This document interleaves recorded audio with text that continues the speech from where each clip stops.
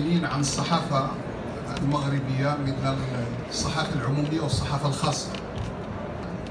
على الحضور لهذا هذه الندوة الصحفية مع وفد مهم من المغرب.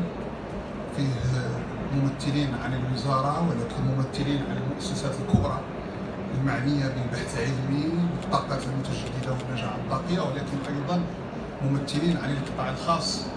يعني والمستثمرين في مجال الطاقة وخاصة الطاقات المتجددة. التعاون التقني من خلال جيزة يواكبون معنا كافة المجالات خاصة مجال الطاقة والبيئة. والآن سندخل معهم في عالم المعادن. معتزون بالاستثمار الألماني في المغرب وبالشراكات الموجودة بين الشركات المغربية والشركات الألمانية.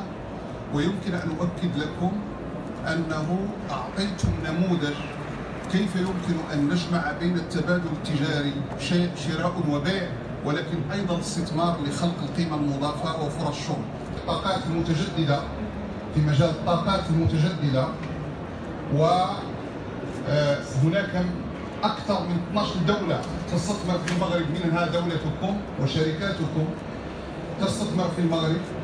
عشرات الملايير من الدولارات استثمارات في المغرب في مجال الطاقة وما يحيط بالطاقة ما تقومون به لخلق شراكات نوعية مع الدول النامية وأنا أحكم من خلال تجربة المغرب هذا هو الشراكة التي يكون فيها الجامع رابح ويكون فيها توزيع عادل للثروة أن يعني وأعتقد أنه يجب أنا أعتقد يجب أن نطور هذا التوجه الذي تتبناه ألمانيا أن يتطور عالميا إذا أردنا أن نجيب على أسئلة التوترات الموجودة في العالم. اسمحوا لي أن نتطرق معكم للموضوع الذي نحن بصدده من وجهة وطنية ومن وجهة عالمية.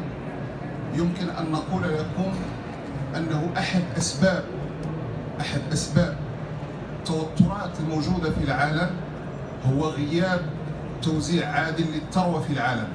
هناك جزء من العالم يصنع الثروة ويستفيد منها وهناك جزء من العالم لا يصنع الثروة ولا يستفيد منها أنا كان توقيع بين المركز المغربي وبين المركز الألماني في نور اتفاقية مهمة في مجال البحث العلمي. نحن معكم ومع شركائنا نريد أن يكون المغرب مجال كبير للاستثمار في الطاقة وفيما نحن بصدده للسوق المغربي ولكن أيضا للتصدير للأسواق العالمية. عندكم تعاون في مجال تدريب الموارد البشرية. عندكم تعاون في مجال يعني بناء ال capacity building من خلال يعني مركز التغيرات المناخية.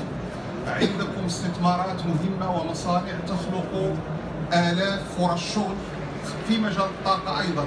هذا النموذج هو الذي تريده الدول النامية مثل المغرب ومثل الدول الموجودة في أفريقيا. قبل ما تخرجوا ما تنسوش تابوناو في la chaîne YouTube